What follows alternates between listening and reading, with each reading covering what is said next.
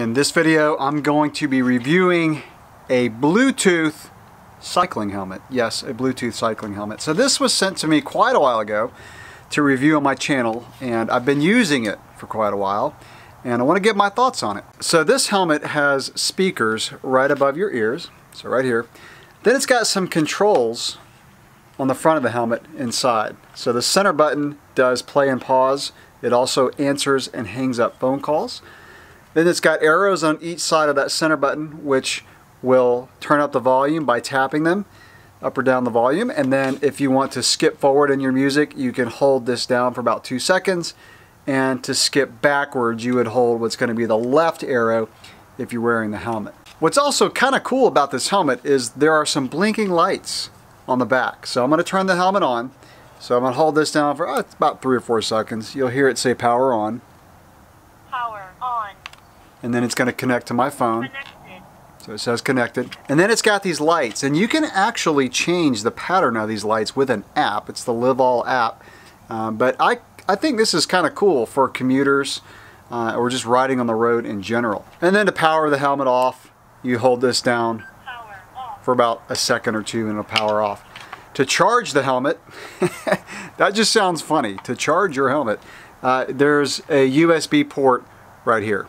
Now, as far as the fit, I actually think it's not that bad. I think it looks pretty good, to be honest. Um, it, you know, I normally run Giro helmets or Specialized, uh, but what I like about this is the visor. So I use this helmet mainly for gravel riding. And I like having a visor for gravel riding because I don't like the sun on my face for four or five hours. And so I like the visor. I think you can pop it off. I have not taken this visor off. I just has, have left it on. Uh, but also the style, so it's really not a bad looking helmet. And the fit of this helmet is, is really comfortable. Um, it's got a dial in the back so you can adjust the tension. Now this helmet came with a remote that you can put on your handlebars. The remote, I use this with an Android phone and th there is an app and I'll show you the app. Uh, but the remote does not for some reason adjust the volume. I don't know if it's my phone or whatever, but uh, the remote will play and pause the music by hit hitting the center button. So it's not on now. If you tap it, it'll light up and that way you know it's on. If you want to skip back a song, you hit the up arrow and you hit the down arrow to skip forward in a song. I kind of think it should be these arrows for skipping music. Also on the remote is a photo button to activate the camera on your phone. But you have to have the app installed and you have to have the app open. So what this would be good for is if you're out on a ride and you want to take a group shot or selfie or whatever, just set your camera up.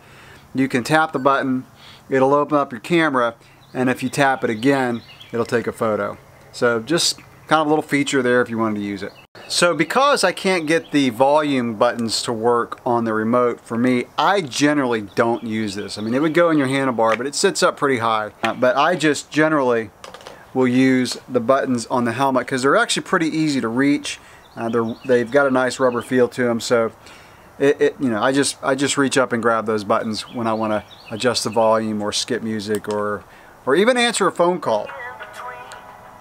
So let me talk about that because that's actually a pretty cool feature of this helmet. So if I'm out on a ride, my wife calls me and I don't want to dig the phone out of my jersey pocket or out of my CamelBak, um, I will stop and hit the button, answer the call, and talk. Now I do stop because the wind noise is a little bit too high if you're riding more than a couple miles an hour uh, and the microphone's pretty good. I've never had her complain about not being able to hear me and I can hear her just fine out of the speakers in the helmet. So now let's talk about how the helmet sounds. For music, falls short for me. There's almost no bass at all. It's clear. Uh, the highs and mids are very clear. There's just no low range at all. So if you're the kind of person like me who has to have a full range of sound for music, uh, you're better off using earbuds. Uh, now, if you're the kind of person that just likes having music there, uh, you don't really care about how it sounds, then you would like it, I think, okay. Uh, now, what is kind of cool about it is the sound stage. So if you're familiar with headphones, Open back headphones have really good sound stage. In other words, it doesn't sound like the music's in your head, but kind of around you. Uh, this helmet really sounds like the music is all around you. It's kind of a unique, uh, unique sound as far as that, but uh, I don't use it for music. But I'll tell you where this helmet rocks for me is on long gravel rides when I listen to podcasts. So I love listening to all kind of different podcasts or TED Talks or whatever when I'm on long solo rides and to not have to use earbuds uh, is is great with this helmet. And like I said, it's got the visor, it looks pretty cool, and I like that safety feature, the lights in the back. So I want to show just a couple things with the app. I won't go too much into this app, but it's got on the cycling tab where you can actually record a ride. So if you didn't use Strava and you wanted to start recording a ride, it would use GPS to record your time, distance, average speed, that kind of stuff. But what I want to show is if you go to equipment, so with the helmet and the controller on, you can see the battery level of each right there. So that's kind of neat. And with the helmet, if I go into the helmet and I go to light settings, I can change some of the patterns of the light. So that's default. I can just click on flash and it'll flash like that. And then if I do slow flick, it just does a little bit different pattern. So this helmet is the Bling model. Livall makes several helmets. I've never tried the other ones, but uh, this is the Bling Model MT1. So in summary, the pluses for this helmet are the visor, the lights on the back is a safety feature, the comfort and fit is very good. The pads are very comfortable. Being able to use it for podcasts, being able to answer calls while you ride. Those are the pluses for this helmet. The misses for this helmet are the fact that you cannot adjust the volume on my phone, which is a Google Pixel 2, with the remote, and the fact that for music, there's no low end at all. Uh, and for me, that's a miss. For you, it may not be, but for me, it is. So there you go, a Bluetooth cycling helmet by Livall, the Bling Model MT1. Any questions or comments, drop those below. Thanks for watching.